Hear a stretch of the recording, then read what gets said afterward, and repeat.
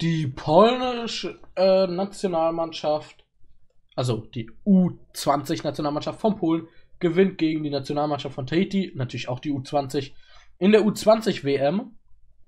Es ist ein 5-0 gewesen, also krasses Ergebnis. Es war eindeutig 28 zu 7 Schüsse, 12, 1 Torschüsse, Ballbesitz 63, 37, also eindeutig. Polen ist damit aktuell Zweiter in der Gruppe und wäre aktuell weitergekommen.